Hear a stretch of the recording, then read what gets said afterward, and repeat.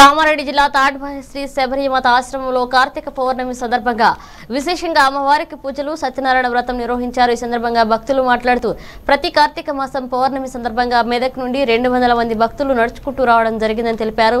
శ్రీ శబరిమాత అమ్మవారిని ఇరవై తొమ్మిదవసారి నడుచుకుంటూ వచ్చిన వారికి ప్రత్యేక ధన్యవాదాలు తెలిపారు. ఈ కార్యక్రమం శబర శంకరప్ప మృత్యపు ఆంజనేయులు చాట్ల శ్రీశైలం రామశంకర్ గంగాధర్ శర్మ తిరుమలేష్ విఠల్ పాండారి గంగాధర్ పాల్గొన్నారు.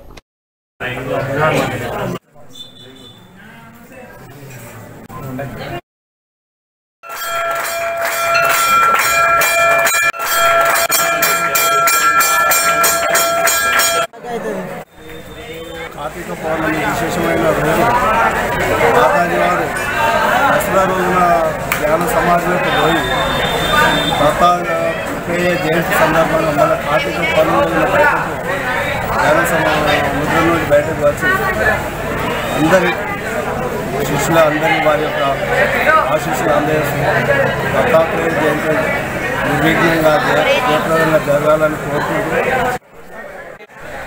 నేటికి ఇరవై తొమ్మిది సంవత్సరాలు గడిచిపోయాయి కాబట్టి మాతాజీ గారు ఉన్నప్పుడు మేము ఇదే మాదిరిగా సంకల్ప యాత్ర పెట్టుకొని మరి ఈ ఇరవై తొమ్మిది సంవత్సరాలుగా విజయవంతం చేసుకున్నాము వారి యొక్క ఆశిష్యులు ఎల్లవేళలా వారందరికీ ఉండాలని కోరుకుంటూ మరి వారి వల్ల లాభాలు అనేది లెక్క పెట్టుకుంటే ఒక్కొల్లలు అందులో ఒక చిన్న విషయం ఏంటంటే ఈ యొక్క చాలామంది నిరంతరం నిరుద్యోగులు ఎవరైతే ఉన్నారో వారు వారు ఈ యొక్క పాదయాత్రలో పాల్గొనడం ద్వారా వారు వారు ఉద్యోగాలు సంపాదించినారు మహాత్మాజీ గారి యొక్క సంకల్పం